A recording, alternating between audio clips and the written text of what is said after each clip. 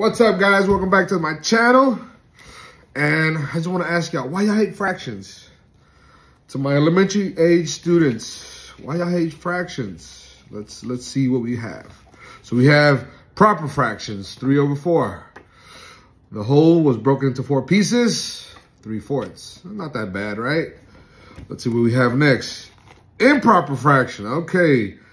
The numerator is larger than the denominator. Okay, it's starting to get a little tricky. You know, why it's a bigger? Boom.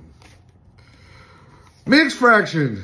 Why do we have a whole number with the fraction? Okay. Like fractions. Okay.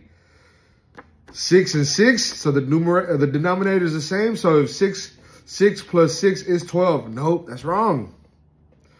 Okay, 6 minus 6 is 0. Nope, that's wrong. Add or subtract 6 plus 6, and 6 minus 6 will still equal 6.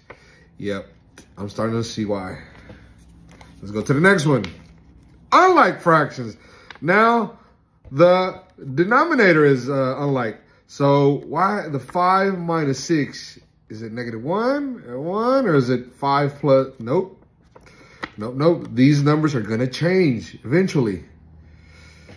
And we have equivalent fractions. This number is the same as this number. Okay, I'm starting to see why we hate fractions. Well, give me a like, a comment, and a share. Tell me what don't you understand about fractions that we that I mentioned, and I'll make a video uh, explaining how to to do them. All right. Y'all have a great day.